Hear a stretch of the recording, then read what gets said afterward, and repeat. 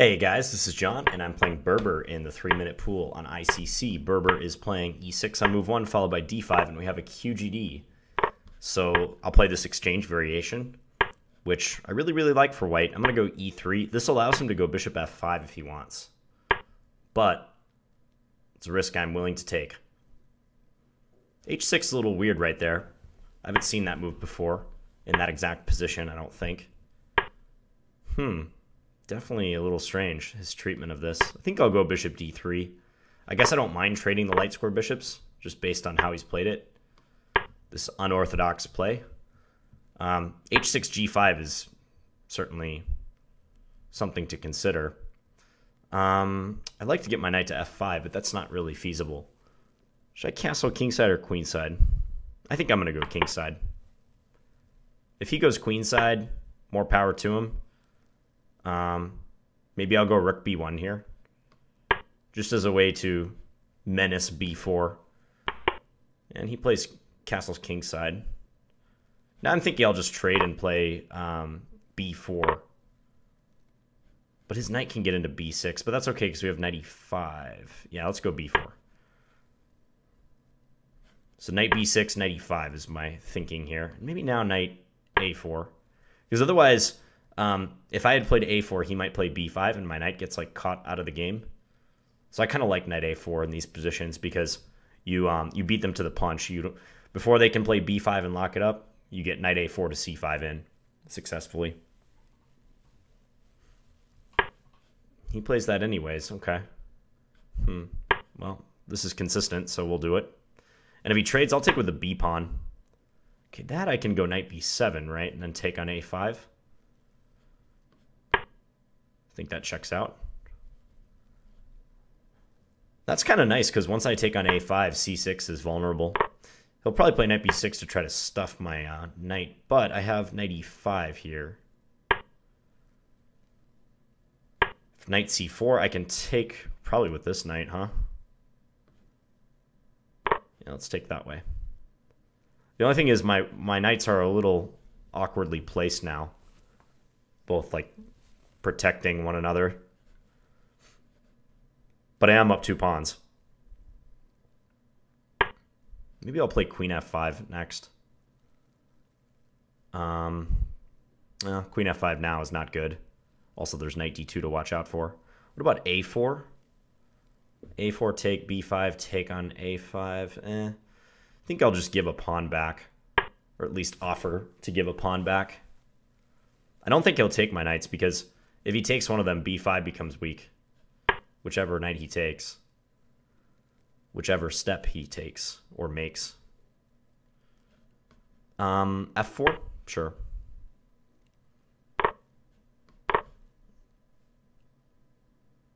This still looks awesome for me. No complaints.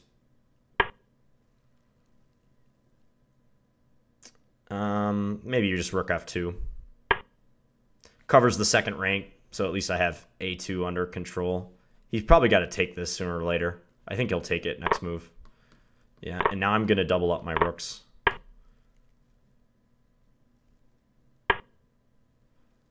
Okay, now how to break through. Rook f6 seems like an obvious move. Don't know if I like it, though. I'm going to play h3 first. Just bide my time before doing anything else. Rook e6. Okay, I could play queen f5. Uh, I could also play rook f6 here. I think I'll go queen f5. See if I can maybe play queen g4 and queen h5. Something along those lines.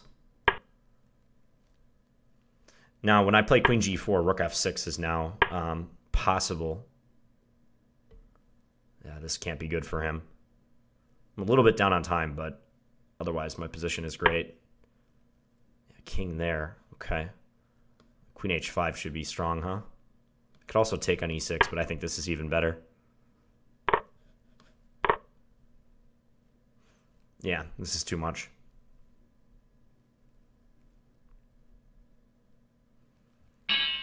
He resigned. Okay. Well, let's have a look.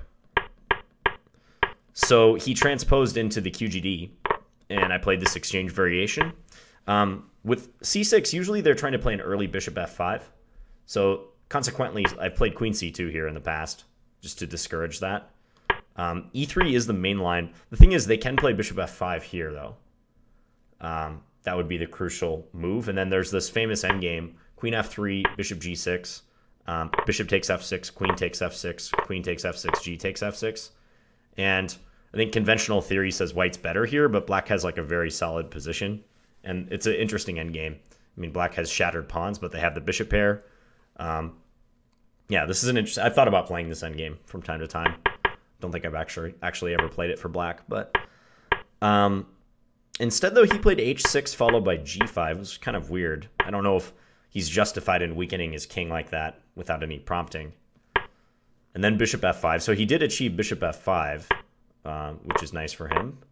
But yeah, I'm, I'm happy with this position. I think he's already kind of weakened himself. I think any subsequent castling on the king side will be fraught with more risk than usual. And I played rook b1, just preparing the very standard minority attack, using less pawns on the queen side to attack more pawns, trying to force a weakness in this position. Yeah, and I don't want to play b4 now because he can play bishop takes b4. Um, by the way, when you're preparing a minority attack, trying to advance b4, this is something I see that happens a lot to my students. A lot of times people will play a3 in preparation for b4, but um, if you have the choice, it's almost always better to put the rook behind the pawn in order to prepare the b4 advance. a3 is like only a move you should revert to if necessary because the thinking is once you play b4, you're likely going to want the pawn up on a4 anyways or you might have to have the pawn up on a4 if they play a6 in order to fully break through with b5. So if you play a3, you might find yourself like losing a tempo eventually, and yeah, you should just stick with rook a b1 and play b4 that way. So just a little pointer about that. So rook a b1, he castled. Um, I swapped the bishops on d6 and then played b4. I knew this would create a weakness on c4, but um, I saw that if he jumps to b6 right away, I would have knight e5. I mean, in retrospect, maybe he should do this, though. Um, he played a6 in the game. So what I was talking about is if I just play a4 now and then um, try to play b5, he can play b5 himself, and I found that in these situations, the knight is out of play. It just doesn't have anywhere to go. Uh, maybe I could readjust and play e4 here and use the knight to protect that square lends further um, support to the e4 advance. But I like the solution in the game, which I didn't come up with this. I mean, this is like a, a known concept in these lines. Like if a6 is played, you first play knight a4 into c5, and then you play a4 and b5. So that was my plan. Um, he did this. I thought he was going to take on uh, c5, and I think I mentioned I was going to take with my b pawn, and then probably try to drop the knight in here and maybe go f4. But taking with the d pawn also was interesting. And maybe dropping the knight into d4. I kind of like that too. Because then like my knight is really well placed and attack c6 and maybe can come into f5 if I want it to. But turned out to be a moot point because he didn't even uh, take it. He tried to undermine, but I think he missed knight b7. Now I win a pawn, and c6 remains weak too. Yeah, knight e5 take. I'm just curious, like what the computer will have my advantage at. Yeah, about what you'd expect. Pretty sizable advantage. And the bad part for him is he he has a tough time even winning back a pawn because whichever knight he takes, um, the b5 pawn becomes weak, as I had mentioned. So something like this could happen. So knight e5, he brought the knight back to d7. I just played f4. It seems like a good move. Um, he's hampered in the fact that f6 is always met by queen g6 check with utter devastation to his position, so he can't afford to do that. And now when I'm able to take with the f pawn, I just get nice and easy play down the f file. See the computer's agreeing with a lot of the stuff I did. Rook f2. Yeah, I like this move. He took the pawn, but very, very simple play. Oh, a4 would have been a cute move here, huh? Why is that? Well, obviously if pawn takes a4, he hangs his rook. But if rook takes a4, what happens? It's just rook f6 good there? Probably. Yeah, rook f6. Threatening the pawn, also maybe threatening e6. I just played h3.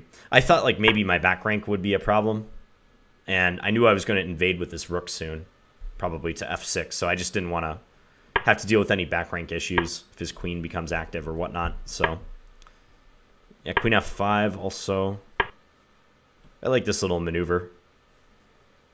He's just really hurting here. Yeah, after rook f6, I think he he's pretty much busted. And he resigned because I'm crashing through on h6. So, all right, interesting game against Berber. And the Queen's Gambit declined. Hope you guys enjoyed that one. And I'll be back tomorrow with another Blitz video. Thanks for watching, guys. Bye.